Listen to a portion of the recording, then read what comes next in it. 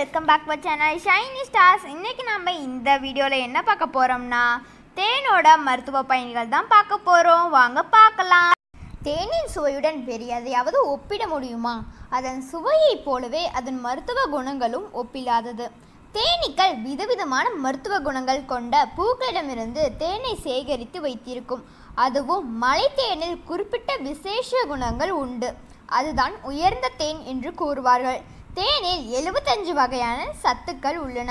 எளிதில் ஜீரணமடைந்துவிடும் முதலில் நம்ம பார்க்க போகிறது தேனுடன் கலந்து சாப்பிட உகந்த பொருட்கள்.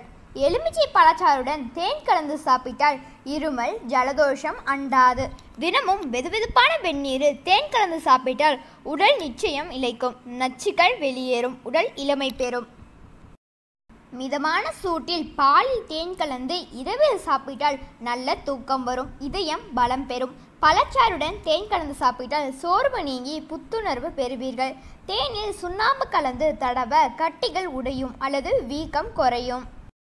மாதுளம் பழச்சாறுடன் தேன் கலந்து சாப்பிட்டால் இரத்த உற்பத்தி அதிகமாகும். நெல்லிக்காய் சாறுடன் தேன் கலந்து சாப்பிட்டால் இன்சுலின் சுரப்பு தூண்டப்படும். ஒரு ஸ்பூன் தேனை ஒரு டம்ளர் நீரில் கலந்து தினமும் காலை அல்லது இரவு நேரங்களில் வெறும் வயிற்றில் பருகி வந்தால் வயிற்றுப்புண் இறப்பை அலர்ஜி பித்தப்பை நோய்கள் குணமாகும்.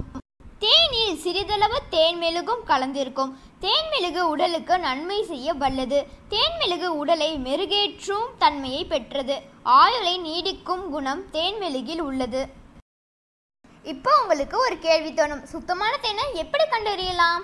நான் சொல்கிறேன். சிறிதளவு தேனில் தீக்குச்சியை சில வினாடிகள் ஊறவிடுங்கள். மீண்டும் ஊறிய தீக்குச்சியை எடுத்து துடைத்துவிட்டு தீப்பெட்டியில் பற்றி வைக்க வேண்டும்.